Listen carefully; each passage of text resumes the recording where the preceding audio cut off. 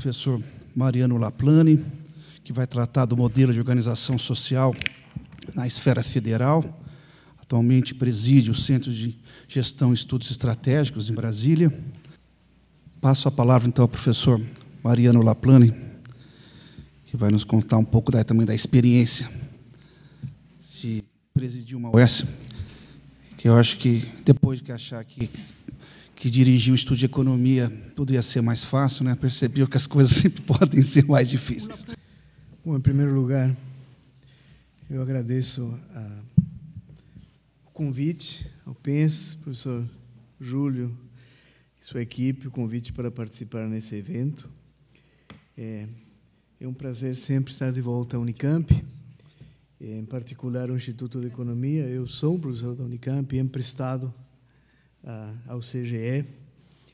É, eu tive minha experiência como gestor público aqui no Instituto de Economia, fui é, diretor do Instituto tempo atrás e, e, desde 2011 presido esse Centro de Gestão de Estudos Estratégicos, que é uma organização social qualificada como tal é, por decreto da Presidência da República e vinculada através de um contrato de gestão ao Ministério de Ciência, Tecnologia e Inovação. Então, eu não tenho uma apresentação, trouxe algumas poucas eh, reflexões sobre eh, o modelo das organizações sociais na esfera federal e o que eu acho eh, podemos aprender da experiência eh, em torno desse, desse tipo de organização. Né?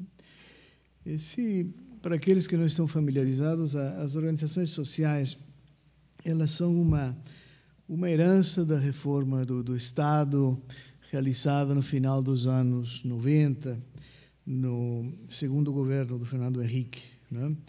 e que se materializou, entre outras coisas, na Lei 9637 de 98, que criou essa figura das organizações sociais. Né? O conceito, basicamente, é de que a gestão compartilhada entre a sociedade civil e o Estado em determinados campos da ação pública e privada poderia ser mutuamente benéfica, em prol do interesse geral, em prol do bem-estar, né? em prol do progresso, né? do desenvolvimento do país. Né? É, e, portanto, a ideia de que é possível fugir a, eh, a essa dicotomia um pouco maniqueísta né, entre gestão pública e gestão privada, entre o Estado e o mercado. Não é? é apesar de ter essa pretensão é, conciliadora, é? O que o Tony Blair e os laboristas, eh, em alguma época, chamavam de uma terceira via. Né? Esta terceira via foi, e ainda é, é longe de ser uma construção consensual. Né? Já no, no, seu início, surgiram debates intensos que continuam até hoje em torno de se esta solução é, é legítima, é benéfica não é? ou maléfica. A própria constitucionalidade da, da 9637 ficou um bom tempo subjúdice. Aliás, o Supremo recentemente se manifestou em relação a isto. Não é? É, mas houve uma ação de inconstitucionalidade impetrada pelo próprio PT. Não é? Que eh, durante muito tempo se absteve de criar organizações sociais. As primeiras organizações sociais criadas pelo PT foram bem recentemente. Eh, uma delas é a Embrapi. Né? Eh, tínhamos alguém na mesa para falar sobre a Embrapi. É muito nova, talvez a experiência seja ainda. Seria prematuro avaliar uma experiência tão nova, mas seguramente a decisão do Supremo não vai encerrar as polêmicas. As polêmicas têm muito de, de legítimo, de importante, também tem muito de ideológico. É? E aí realmente é difícil chegar a acordos. é, a demonização do Estado ou do mercado e a santificação do outro lado, né, é, gera muita energia, muito calor, mas normalmente pouca luz. Né? São visões simetricamente ingênuas. Né? Para aqueles que ingenuamente achavam que a autorregulação dos mercados era o caminho, acho que a crise que começou em 2007, 2008 deve ter é, trazido um pouco de, de humildade e de realismo, embora eu duvido. Porque nessas coisas de ideologia, a experiência não ensina. Tá? Ninguém aprende é, nesse plano da ideologia. Você carrega algumas, alguns preconceitos e também não é ruim, tem certa utilidade. Né? Meu pai costumava dizer é, que ideologia é como óculos escuros. Tá? Se você usa ela de dia, você enxerga melhor, mas de noite não ajuda nem um pouco. Tá? Então, a ideologia tem esse, essa, esse duplo papel. Mas, de qualquer maneira, também a, a santificação do Estado como factotum e, e, e, o, e o, ator de transformação eh, por excelência também é um pouco ingênua. Não é? Eh, os Estados nacionais eh, cada vez mais fracos no mundo contemporâneo por motivos visíveis. A, a concentração do poder econômico e da mídia é fantástica. Os Estados nacionais vivem cercados, além das suas próprias dificuldades, como a senadora relatou, e o nosso, nesse campo, não deixa nada de ver os outros, né? e além das dificuldades financeiras, gravíssimas, inclusive nos países ricos, né? os Estados nacionais vivem cada vez mais cercados de restrições na sua ação. Né? Na minha época, eu sou um pouco velho, na minha época, né, eram cercados pelo Fundo Monetário Internacional e pela, eh, pelo Banco Mundial. Né? E algumas outras instituições fantasmagóricas, como a trilateral e coisas do gênero. Né? Mas hoje em dia, além disso, você tem rankings de todo tipo. E, independentemente da sua gestão, você sempre haverá, toda segunda-feira, um ranking internacional que joga você na lata de lixo. Né? Então, é o ranking de competitividade, o ranking da infraestrutura, o ranking da inovação, o ranking do ambiente de negócios, quanto tempo você demora para abrir e fechar uma empresa. Tem gente que acha que esses rankings querem dizer alguma coisa. Né? Eu tenho minhas dúvidas. Né? Pelo menos como instrumento da gestão pública, acho que só estigmatizam. Né? Mas, enfim, não quero nem restar importância, nem perder muito tempo do debate em torno da legitimidade do modelo. Eu quero contar um pouco como é que o modelo é visto de dentro, como é que ele funciona. Não é? É, e também vou me referir exclusivamente às organizações sociais na área de ciência e tecnologia, que são as que eu conheço, é? e as que eu acho que são mais ricas do ponto de vista de eh, trazer-nos algumas contribuições eh, para a nossa discussão aqui sobre a gestão pública. Eu acho que o caso das OESs, na área de ciência e tecnologia do governo federal, são um caso bem sucedido, onde efetivamente o interesse público, no sentido mais amplo, né, ganha em função de uma associação construtiva do Estado com a sociedade civil. Quais são as organizações sociais na área, no nível federal, na área de ciência e tecnologia? São instituições excelentes. Uma já foi mencionada hoje pelo professor Júlio, que é o INPA, o Instituto de Pesquisa em Matemáticas Aplicadas, né? reconhecido internacionalmente. Né? Outra é a RNP, a Rede Nacional de Pesquisas, que é que fornece infraestrutura para se fazer ciência de boa qualidade, pelo menos em transmissão, processamento de dados, para todas as universidades e centros de pesquisa no Brasil. Outra, o CNPEM, o Centro Nacional de Pesquisas em Energia e Materiais, aqui em Campinas, pertinho, né? que junta o laboratório de luz síncrotron, o Laboratório Nacional de Nanotecnologia, de Biotecnologia e de Etanol outra instituição internacionalmente reconhecida. A quarta, o Instituto de Desenvolvimento Sustentável Mamirauá. Né? Desenvolve técnicas de manejo sustentável da biodiversidade na Amazônia. O CGE. Aí não vou dizer que é internacionalmente reconhecido, porque seria demais, né? mas funciona. Funciona. Né? E vou falar já já como funciona e os problemas que ele enfrenta. Né? E mais recentemente, como eu disse, a Embrapi, embora a Embrapi não é vinculada exclusivamente ao Ministério de Ciência e Tecnologia, também é vinculada ao MEC. E que tem por eh, função tentar simplificar, agilizar, tornar mais eficiente a canalização de recursos para empresas inovadoras. São recursos do FNDCT, basicamente. É, por que, eu acho que essas instituições são de excelência? Por que, que eu acho que são exemplos vitoriosos do modelo das organizações sociais? Há uma especificidade muito grande neste caso que explica esse sucesso. Né? Neste caso, nós temos a conjugação rara, rara, né? de uma sociedade civil organizada, com associações, entidades capazes de identificar e promover o bem comum, neste caso, o progresso da ciência e da tecnologia no Brasil. E aí nós temos exemplos como a Academia Brasileira de Ciências, a SBPC, né?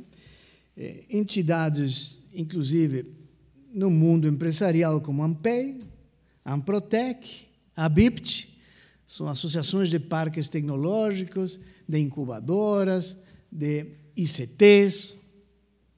Então, nós temos, neste caso, ciência e tecnologia, uma sociedade civil organizada, estruturada, mobilizada, capaz de agir.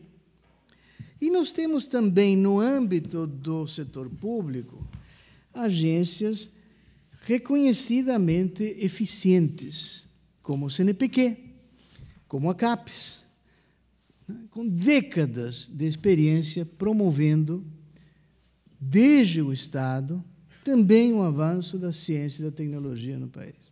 Hum? Nenhuma das duas coisas é geral. Hum?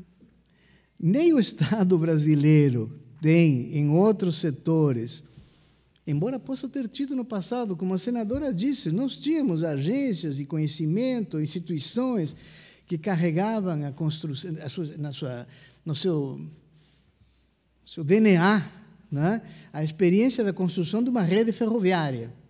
Desapareceram, perdemos. O Estado brasileiro perdeu isso, o Brasil também perdeu. Né? Então, nem, nem, o Estado, nem o Estado brasileiro tem instituições do nível do CNPq, da CAPES, de algumas FAPs, é? em outras áreas, nem a sociedade brasileira é tão organizada assim como é no caso da ciência e tecnologia. Pelo contrário, nós vamos, nós fizemos o CGE agora para o eh, Ministério de Ciência e Tecnologia uma pesquisa né, que eh, é feita também em outros países a respeito da percepção pública, a percepção do público sobre ciência e tecnologia no Brasil. É a terceira vez que se faz. Foi feito em 2006, 2010, fizemos agora em 2014, início de 2015. Né? Nós vamos divulgar os resultados na SBPC em São Carlos daqui a duas semanas, três semanas. Né?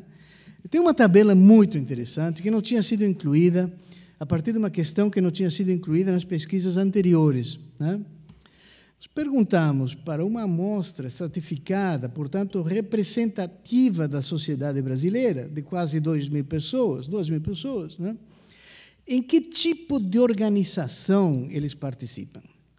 Perguntamos qualquer tipo, religiosa, cultural, esportiva, profissional, eh, de autoajuda. O nível de participação organizada do brasileiro médio, homem, mulher, jovem, velho, analfabeto, educado, parará, parará, é mínimo. Nós temos uma sociedade desorganizada, desestruturada, desmobilizada. O que não impede que você tenha explosões de ódio, de raiva, de desespero, de angústia em qualquer estádio. Né? Isto é compatível com ter torcidas organizadas também. Nós somos uma sociedade desorganizada. Portanto, a área de ciência e tecnologia é uma exceção que talvez explique por que, que as organizações, neste caso, as organizações sociais, no lugar de representar o confronto entre Estado e mercado, onde o mercado anula, destrui o Estado ou vice-versa, neste caso há uma simbiose eficiente e produtiva do ponto de vista do interesse geral, do interesse público. É uma hipótese. Quem tiver uma hipótese melhor,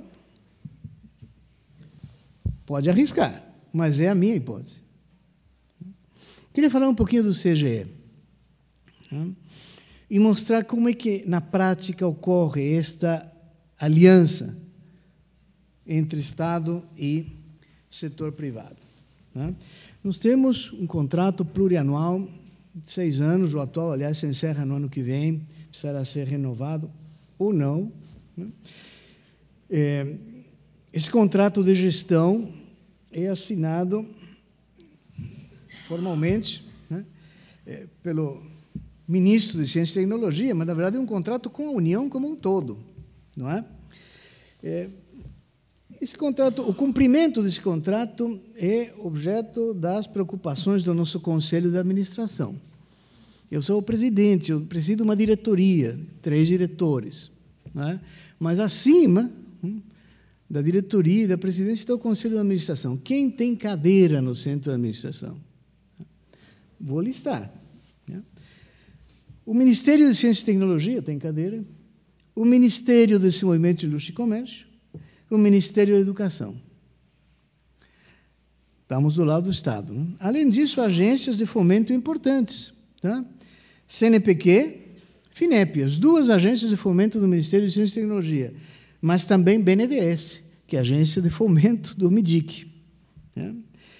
Do setor privado, nós temos a Confederação Nacional de Indústria, a Confederação Nacional da Agricultura, representando o mundo empresarial, mas também temos a AMPEI, que representa o mundo empresarial.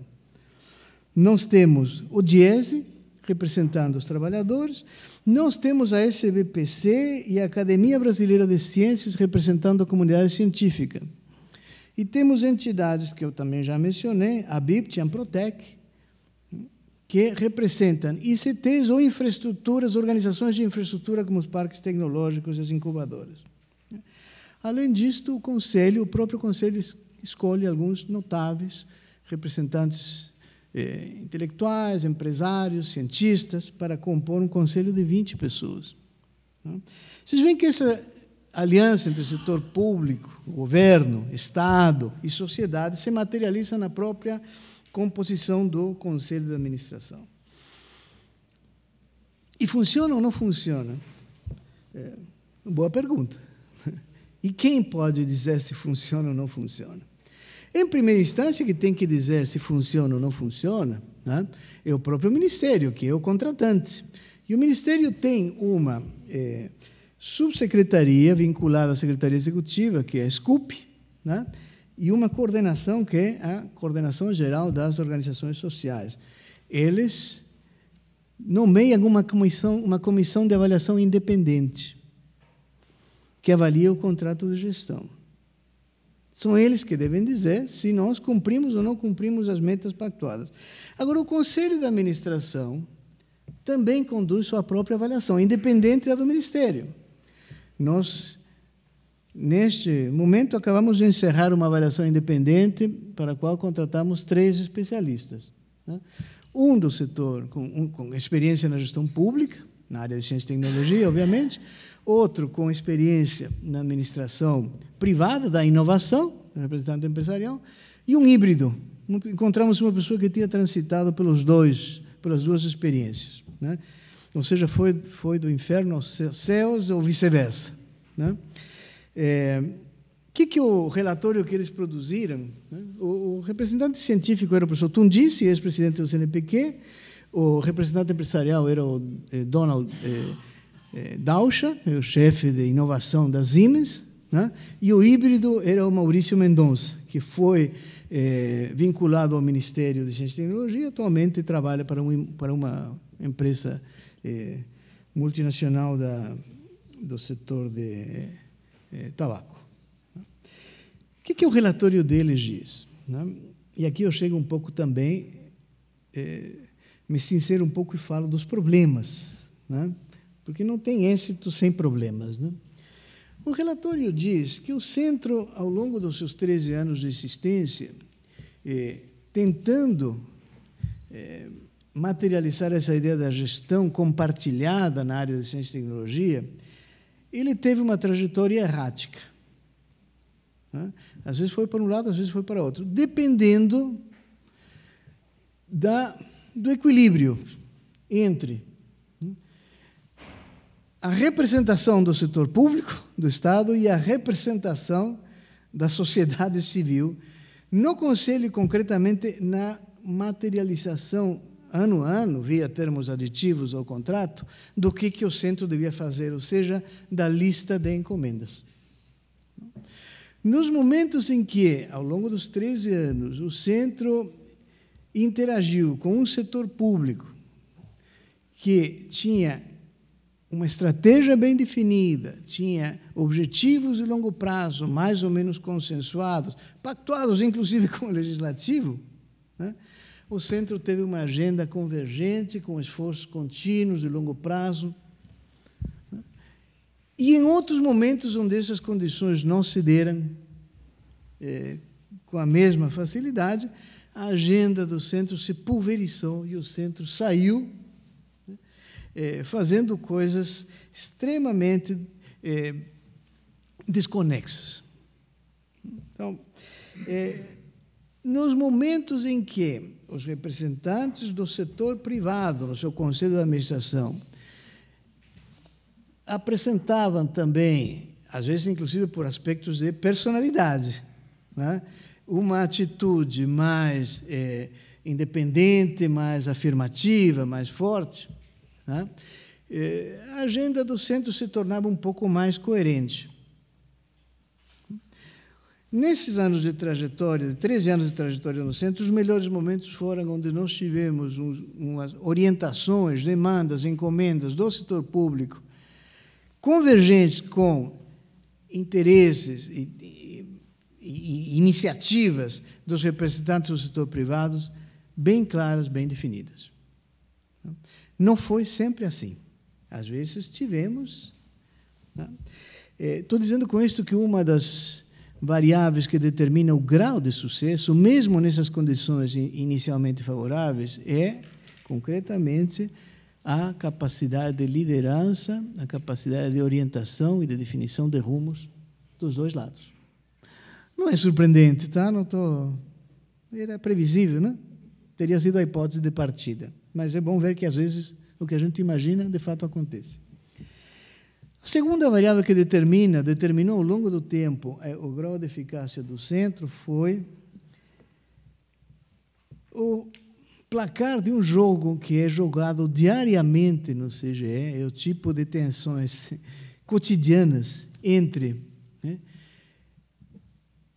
o CGE tentar ser o que a lei definiu, que é uma organização privada que trabalha para o setor público, é a pressão dos órgãos de controle que resistem a abdicar da sua, é, nos olhos deles, legítima responsabilidade de controlar como se fôssemos uma repartição de algum ministério. Isso é uma luta diária. Diária. Né?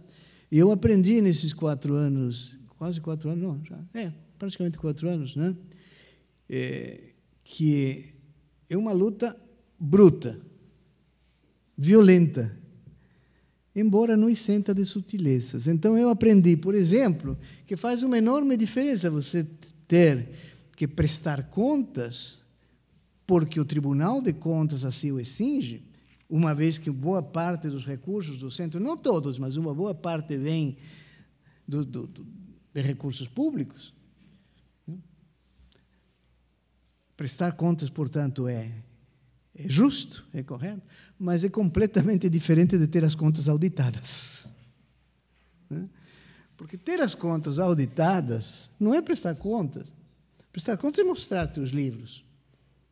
Ter as contas auditadas é a CGU aterrizar no centro e acampar lá durante uma semana, duas, e pedir a nota fiscal do papel higiênico que você acha que comprou e estocou em algum lugar que você provavelmente não lembra, a menos que você tenha um funcionário especificamente dedicado a cuidar do papel higiênico e das notas fiscais.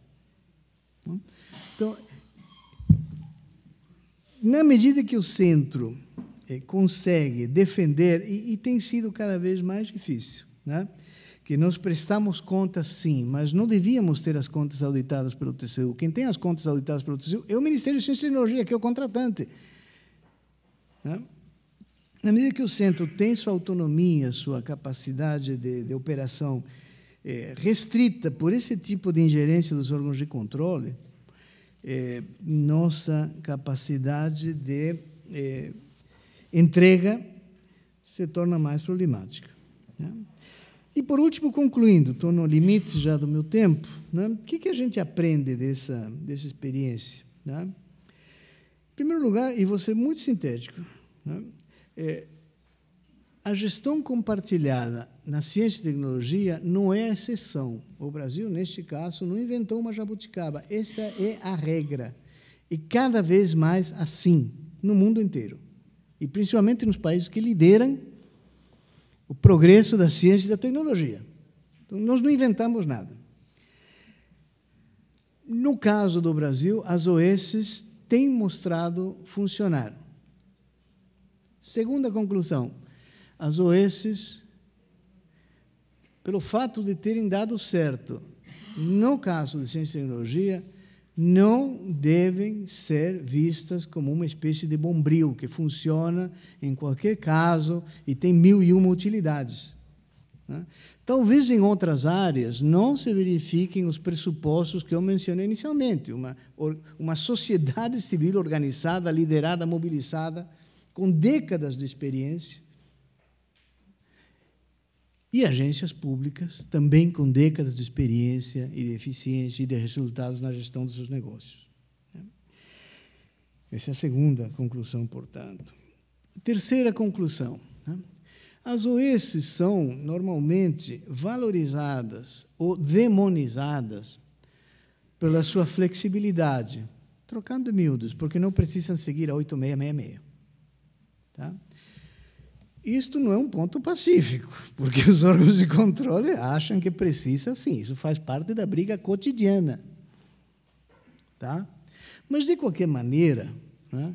de qualquer maneira, este não deve ser o principal critério de santificação ou de demonização das OEs. Né?